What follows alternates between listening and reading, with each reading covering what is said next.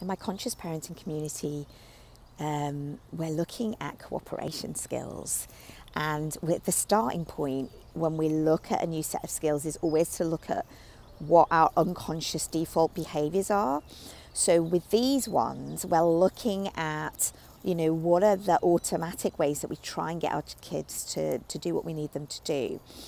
And a couple of those ways are commands and threats are quite common um, that we can use. So, you know, if, if you imagine you're, you're running um, late in the morning, that the command would be put your shoes on now.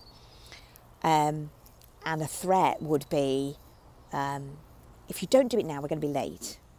Okay, so that's a couple of, it gives you a flavour of a couple of those. And then what, where we go is we look at how, what we can replace those with. Well, first of all, we look at what our default is, um, our go to method, right? And then we look at ways, different skills we can use that feel better for us and feel better for them to engage their cooperation. So, you know, you could say something like, um, like offering a choice, for instance. So you'd say something like, Do you want to put your left foot on or your right foot on first? Um, and in, let's let me think of one, instead of threat, you could say something like, um, we've, we've still got we've still got a whole five minutes to do this.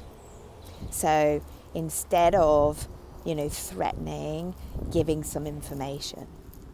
So just giving you a flavour of some of the stuff that we do inside the conscious parenting community.